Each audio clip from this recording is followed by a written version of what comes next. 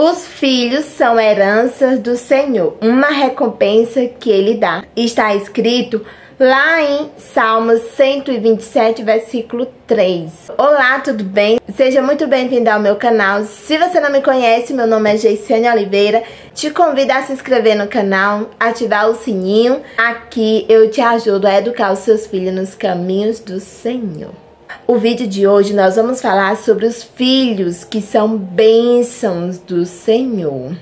Esse é um princípio bíblico que está sendo ignorado pela maior parte dos casais né, da sociedade e também no meio cristão.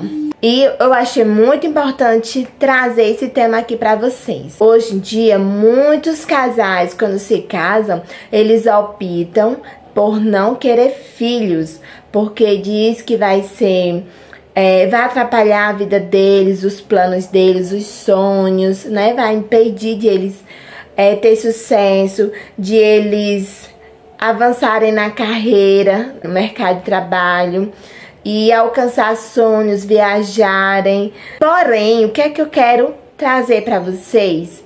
Algo totalmente diferente. Os filhos, segundo a Bíblia, são presentes, são heranças do Senhor. E os filhos, nós temos que entender que não são nossos. Quando Deus nos dá filhos, Deus nos está é, emprestando os filhos a nós para que nós crie esses filhos, nós eduque esses filhos para honrar e glorificar o nome de Deus para serem pessoas que vá cumprir o propósito de Deus nesta terra.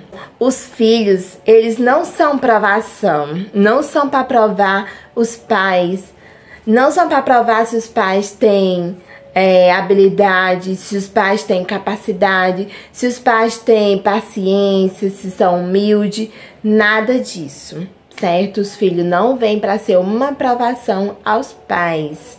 Também os filhos não vêm para ser empecilhos aos pais, impedir que os, os pais cresçam na vida, tenham sucesso. Não. O sucesso não está lá fora, o sucesso, o sucesso está dentro de casa. Quando o pai e uma mãe conseguem educar o filho no caminho de Deus, então ali é o sucesso dele, tá? Também o filho não é uma maldição. Tem pais que eu vejo xingando os filhos. Ah, seu maldito.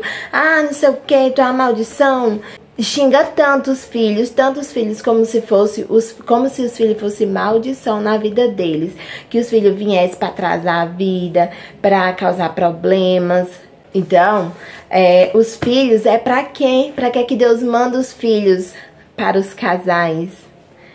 Para ser uma alegria para o casal. O filho é como se fosse é, o amor do casal em outro ser, né? É transferido para outro ser que são os filhos. Os filhos é para trazer alegria, como eu falei, né? Ao casal. Também trazer bênção, trazer força de vontade. Então, às vezes acontece coisa na vida do, dos pais da mãe, do pai, que eles só continuam, só seguem em frente. Por quê? Porque tem os filhos, ou seja, os filhos dão forças aos pais para querer ser melhores, para querer conseguir, né, se melhorar de vida, sair às vezes daquela vida medíocre que tem. Então isso tudo é o que pelos filhos. Os filhos dão força aos pais, também dão ânimo aos pais. Há casos de que vida materna se torna tão cansativa que a mãe fica exausta. Mas aí quando ela vê aquele filho sorrindo, feliz, quando ela vê aquele filho que chega pra ela, abraça e diz: Mamãe, te amo, papai, te amo. Ali dá o ânimo, né? Dá um ânimo para os pais.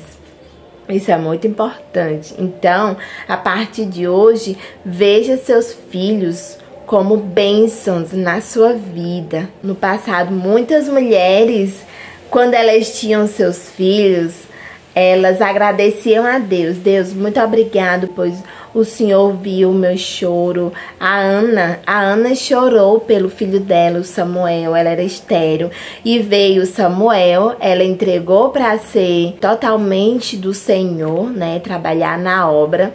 Depois veio mais cinco ou foi seis filhos depois do, do Samuel. É, a Sara também queria muito ter filho.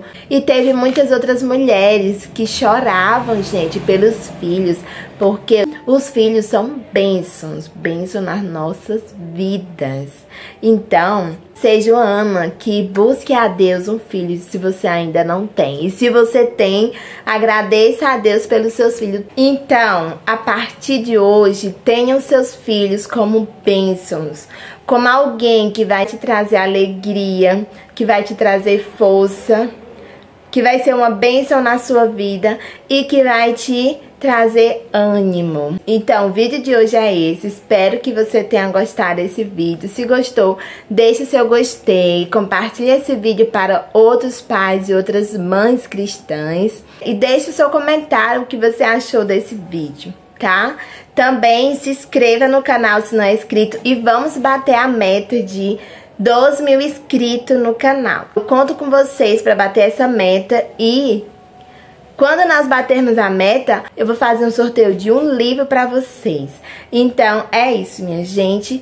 Que Deus abençoe a todos e até o próximo vídeo. Tchau, tchau!